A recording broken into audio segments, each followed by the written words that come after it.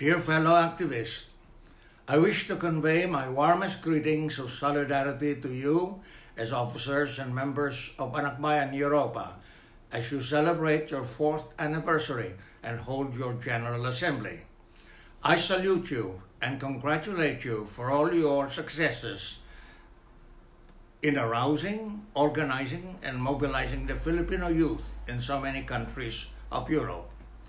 I am proud of and gratified with cooperating with you in carrying out as many as 14 webinars on the Marxist Leninist classics and as many as 16 webinars on the Philippines under the auspices of the ND Online School during the COVID 19 pandemic.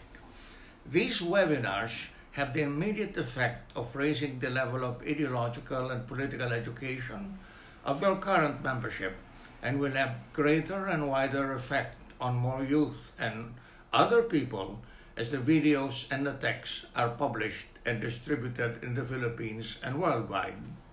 I'm confident that your General Assembly will enable you to sum up your experience, learn lessons, and set forth the tasks that will make your national chapters stronger and uh, your Europe-wide leadership more effective than ever before. It is necessary for you to strengthen your ranks ideologically, politically, and organizationally to be able to uphold, defend, and advance your rights and interests as Filipino youth in Europe and contribute what you can to the struggle of the Filipino people for national and social liberation and to the patriotic movement to oust the Duterte regime, which is inflicting grave suffering on them. Even as you are in Europe, there is a lot that you can do to help our compatriots in our motherland to get rid of a tyrannical, traitorous, murderous, corrupt, and mendacious regime that is aggravating the crisis of the semi-colonial and semi-feudal ruling system and escalating the conditions of oppression and exploitation. You can spread the information and truth about the Philippines and use all possible means of communication in order to promote the unity of the overseas Filipinos against the evil regime of Duterte and seek the solidarity of the host people and guest peoples in Europe. You can launch campaigns and activities to realize programs and projects by which Anakbayan Europa and other organizations and institutions in solidarity with you to cooperate with Anakbayan Philippines in extending moral and political support and assistance to the Filipino youth and people who are in need of this due to the oppression and exploitation that they suffer.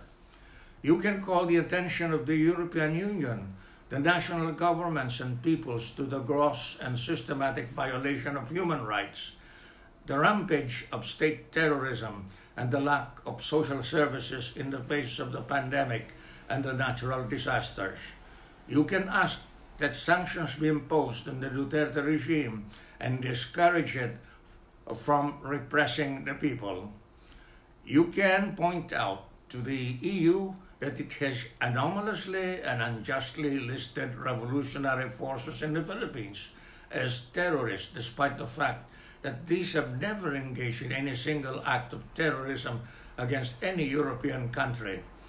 This EU terrorist listing is now being used by the Duterte regime as an endorsement of its reign of terror and greed. As you sum up your experience and your current situation in Europe, you can recognize the problems and needs of the Filipino youth and people and set forth a task for you to implement for their benefit.